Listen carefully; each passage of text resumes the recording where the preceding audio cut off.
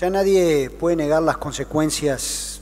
nefastas de, una política iniciada en el 2010 con la ley 19.172, ley que se presentó a la ciudadanía, como ustedes recordarán, con aquel supuesto propósito de sacarle el mercado al, narcotráfico, bajo aquel paquete de medidas, de 15 medidas, este, de lucha contra la inseguridad.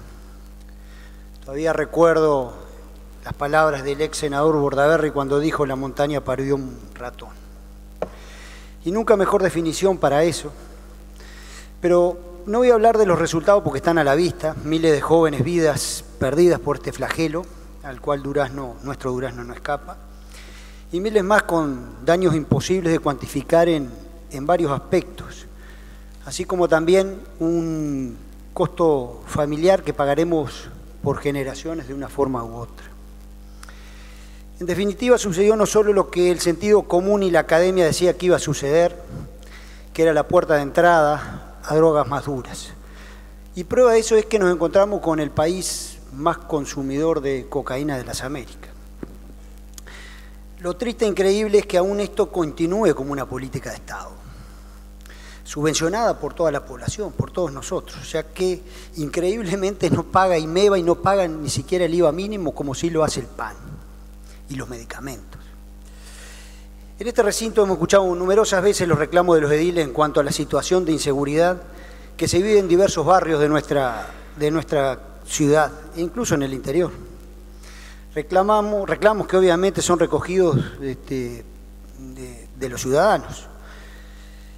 y que en una gran medida, como todos sabemos, está estrictamente relacionada con el consumo de droga.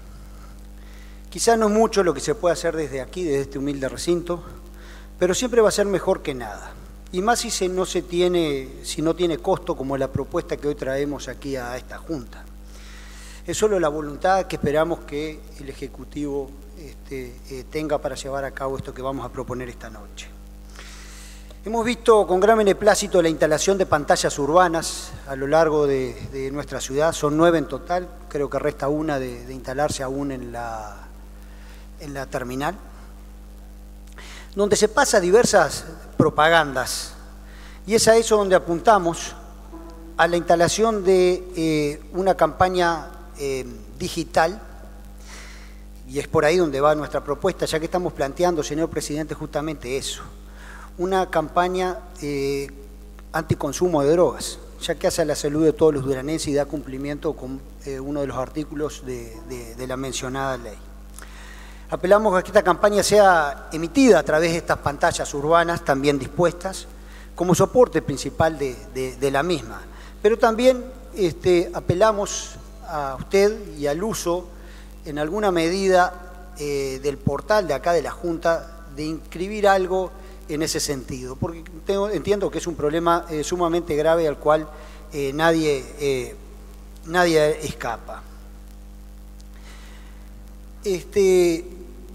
más allá de esto, o aparte de esto, en otro orden de cosas, quisiera mandar la felicitación a todo el personal que está trabajando en el plan Juntos acá en, en nuestra ciudad. Hoy se entregó la sexta vivienda de las 24 Así que también en este minuto restante que me queda, señor presidente,